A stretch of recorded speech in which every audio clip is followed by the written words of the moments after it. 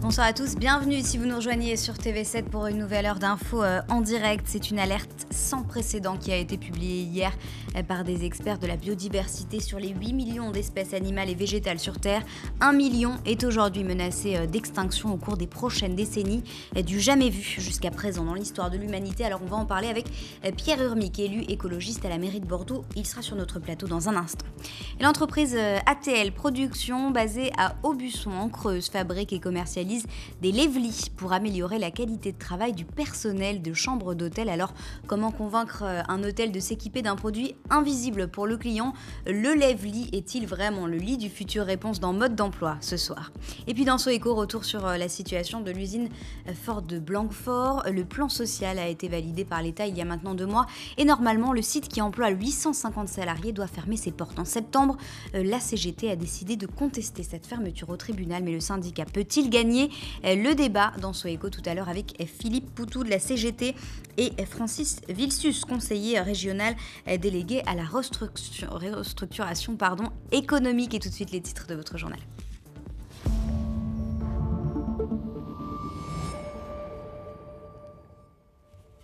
Les trottinettes euh, électriques ont envahi l'espace public ces derniers mois. Pour réguler leur utilisation, euh, le gouvernement s'apprête à modifier le code de la route à Bordeaux. Une charte euh, devrait être bientôt adoptée concernant leur stationnement. Le CIBA a lancé un grand nettoyage des anciens parcs ostréicoles qui couvrent des centaines d'hectares dans le bassin et provoque son envasement en limitant les courants. On fait le point sur l'avancée de ces travaux dans ce journal. De plus en plus de communes décident d'éteindre leur éclairage public la nuit sera le cas à La Rochelle dès la semaine prochaine dans la métropole. Le Taillant a adopté cette mesure depuis plusieurs années et nous irons euh, sur place pour voir comment ça se passe. La météo, un ciel bien gris demain et quelques averses attendues dans l'après-midi. Les températures se rafraîchissent seulement 17 euh, degrés pour la maximale du jour. Mais d'abord, ce drame à Saint-Aubin du Médoc, le corps sans vie d'une femme de 64 ans a été découvert hier chez son ex-conjoint. Ce dernier, un homme de 60 ans, est toujours euh, en fuite. La victime aurait reçu 40 coups de couteau. Une enquête de flagrance a été euh, ouverte et le principal euh, suspect est actuellement recherché par la police. Dans l'actualité, donc, les trottinettes euh, électriques ont le vent en poupe à Bordeaux comme ailleurs, au point que c'est aujourd'hui un peu la jungle dans l'espace public. Le gouvernement a donc décidé d'y mettre de l'ordre en modifiant par décret le code de la route. À partir de la rentrée prochaine, les trottoirs leur seront interdits sous peine d'amende et la vitesse limitée à 25 km/h. Et de son côté, la ville de Bordeaux prépare une charte pour réglementer le stationnement des engins en libre service. Reportage avec Dominique Parmentier. Le vélo a encore toute sa place à Bordeaux, mais les trottinettes électriques et autres engins de déplacement personnel motorisés en prennent de plus en plus.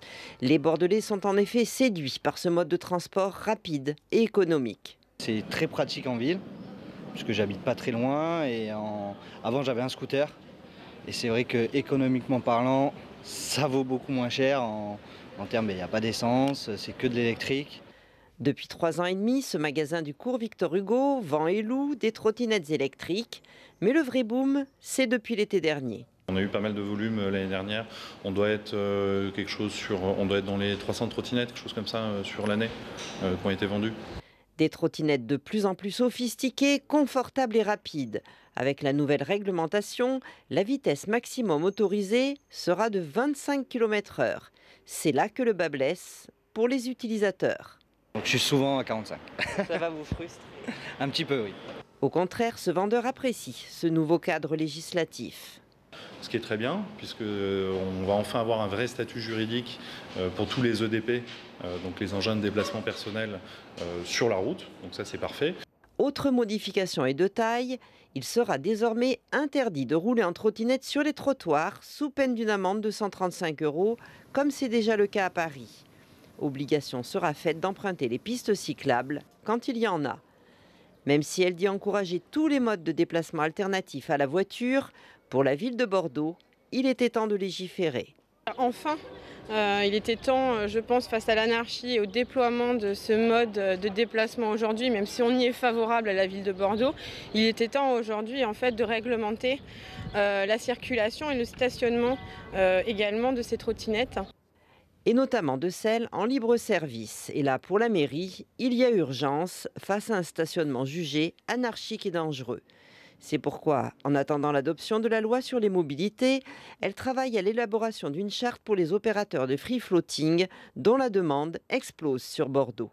Donc, il tourne autour de trois axes. Hein. le paiement d'une redevance parce qu'on occupe l'espace public, euh, la limitation du nombre d'engins et surtout euh, le stationnement des engins sur des, des emplacements dédiés. La charte devrait être adoptée fin mai par la métropole, en juin pour Bordeaux.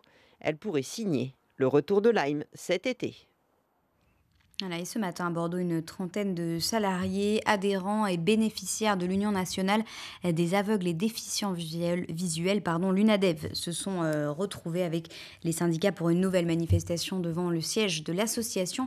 Ils protestent contre les pressions exercées euh, sur les salariés et dénoncent un mal-être au sein de cette association. Le syndicat intercommunal du bassin d'Arcachon, le CIBA, faisait le point hier sur l'achèvement des travaux de réhabilitation du domaine public maritime, des travaux qui avaient notamment euh, pour objectif de nettoyer des friches ostréicoles touchées par l'accumulation de déchets liés à cette activité. Reportage avec Thomas Gonsalves. Voici le résultat de deux mois de chantier sur les friches ostréicoles du secteur des Jacquets. Une zone aujourd'hui tout à fait lisse et propre mais qui auparavant étaient menacés par l'accumulation de ferraille ou de poches plastiques. Ces déchets, qui sont des restes d'activités ostréicoles, ont formé au fil du temps d'énormes rochers de sédiments qui rendent aujourd'hui le terrain difficilement praticable les, rochers d'huîtres, à la fois sur le domaine concédé aux ostréiculteurs ou sur le domaine non concédé, sont d'abord une concurrence alimentaire pour euh, les, les ostréiculteurs, pour les huîtres d'élevage, mais c'est aussi euh, une grande difficulté en matière d'équilibre du bassin, puisque ça ralentit bien évidemment la circulation de l'eau, ça permet l'envasement du fond du bassin, ça empêche la reconquête des austères, et puis c'est aussi une concurrence avec tous les autres organismes vivants. Pour régler ce problème, un chantier important est lancé. Les travaux qui ont débuté en 2018 ont permis de nettoyer deux zones d'un total d'environ 30 hectares. C'est sur l'équivalent de 35 marées que de nombreuses machines se sont relayées pour enlever les amas de déchets. La pelle ponton, donc c'est tout simplement euh, un ponton flottant sur lequel on met une pelle de chantier, ce qui permet avec euh, le bras articulé euh, d'aller retirer l'ensemble de la ferraille qui peut être enfouie parfois sur un bon mètre de rocher d'huître ou de sédiments. Après une étape d'aplanissement, le résultat est là. Les terrains sont de nouveau praticables et favorisent alors le retour d'une activité ostricole sur cette zone. D'ici 15 ans, 75% des friches ostricoles du bassin devraient être réhabilitées. Et c'est un habitué qui revient dans le port de la Lune, le célèbre Trois-Mâts. Le Bélème, déjà vu à de multiples reprises sur les quais de Bordeaux, sera de nouveau amarré sur les bords de la Garonne du jeudi 16 au dimanche 19 mai, la semaine prochaine donc. Le navire sera ouvert aux visites tout le week-end. Les communes de l'agglomération bordelaise sont de plus en plus nombreuses à avoir décidé d'éteindre leur éclairage public la nuit, une mesure qui réconcilie, pardon, les intérêts économiques et les enjeux écologiques. Thomas Gonsalves s'est rendu au Taillant Médoc pour faire le point sur la démarche mise en place en septembre 2015. De 1h à 5h du matin, le Taillant Médoc est plongé dans le noir. Pour faire face à ces soucis financiers, la commune a décidé d'éteindre en 2015 son éclairage public aux heures de basse fréquentation. Aujourd'hui, les résultats sont satisfaisants. Trois ans après, le bilan économique il est indéniable. C'est 30% d'économies réalisées sur la consommation d'électricité, environ 30 000 euros par an. 30 000 euros, c'est un poste. Voilà, c'est un poste d'agent public qui peut être redéployé autrement. La commune du Taillant-Médoc est la première de l'agglomération bordelaise à avoir mis en place le dispositif. Une mesure qui a notamment inspiré les communes voisines. Vous avez par exemple Pessac qui a rapidement rejoint, Mérignac, Saint-Mélarangeal, Le Haillan, Blanquefort, Hésine parmi les voisins. En plus des bénéfices économiques, la mairie et ses habitants constatent un retour massif de la faune nocturne qui n'est plus gênée par la lumière. Au lancement de l'initiative, un sentiment d'insécurité naissait chez certains riverains. Aujourd'hui, les habitants ne sont plus inquiets. Je peux comprendre, après moi je ne sors pas la nuit, donc euh, personnellement je ne suis pas forcément concernée mais ça peut ne pas être rassurant pour, euh, pour certaines personnes. C'est une petite commune, donc déjà on n'était pas trop concerné par la violence. J'habite en ville et je ne me sens pas en insécurité ici. Même la nuit? Même la nuit, ouais. Les communes de l'agglomération bordelaise se félicitent aujourd'hui des économies réalisées, mais pour la ville de Bordeaux, l'extinction de l'éclairage public semble encore compliquée à mettre en place, d'un point de vue touristique et sécuritaire. Et si vous aviez prévu euh, de faire le ménage et de vider votre grenier à l'occasion de ce jour férié demain, il faudra prendre votre mal en patience. Le flux des voitures est incessant à la déchetterie de la Bastide.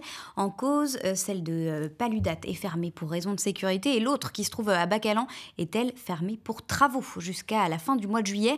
La métropole conseille donc plutôt d'utiliser les déchetteries des villes périphériques. Compliqué donc de se débarrasser de ces déchets aujourd'hui. Euh, aujourd'hui, oui. Aujourd'hui, euh, oui. Mais d'habitude, non, ça va assez bien. Ben, pourquoi vous avez atterri ici? Vous voulez, euh, Eh bien, parce que j'ai pas le choix. Il y en a une qui est de Paludate, qui est fermée depuis je sais pas combien de temps. Donc voilà, pour moi, ben, moi j'habite Bordeaux, c'est pas un problème, mais enfin, c'est un peu le bazar. Oui, parce qu'il y a beaucoup de monde. Et, mais bon, c'est utile, hein. c'est utile. Sans ça, je vois pas comment on pourrait faire. Donc vous prenez votre mal en patience? Absolument, mais j'ai le temps. Il y en a qui n'ont pas le temps.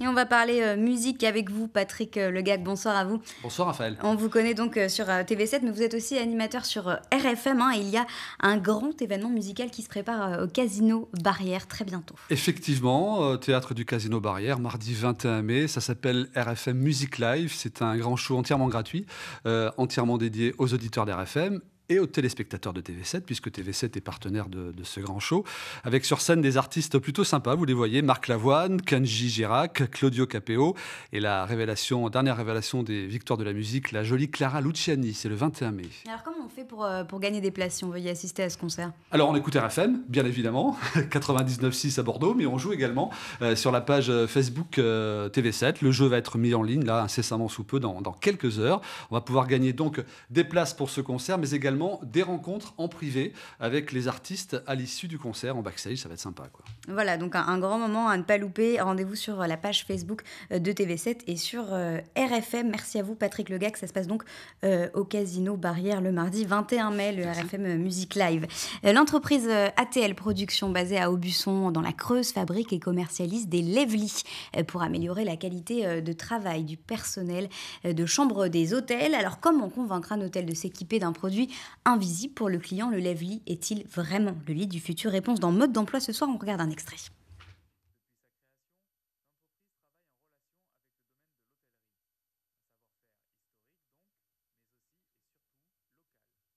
Depuis sa création, l'entreprise travaille en relation avec le domaine de l'hôtellerie. Un savoir-faire historique donc, mais aussi et surtout local. En fait, aujourd'hui, toutes les personnes qui sont qui, sont ici sont recrutés localement et sont formés en interne. Aujourd'hui, tous les soudeurs qu'on a, ils ont été formés par le biais d'une formation en interne, mais euh, ils ont développé leurs compétences grâce aux personnes qui étaient déjà présentes ici en fait. Une force pour l'entreprise qui doit compenser sa localisation excentrée et pas toujours évidente pour travailler avec les hôtels des grandes villes.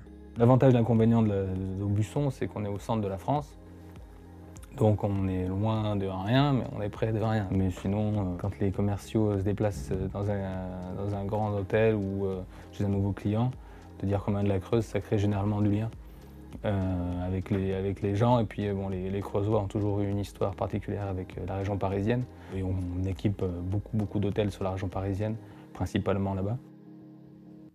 Voilà votre émission mode d'emploi à voir euh, dès ce soir euh, sur euh, TV7. Un million d'espèces animales et végétales menacées d'extinction. C'est un rapport alarmant qui a été dévoilé hier par des experts de l'ONU et on en parle dans un instant avec l'élu écologiste Pierre Urmic sur notre plateau. Restez avec nous.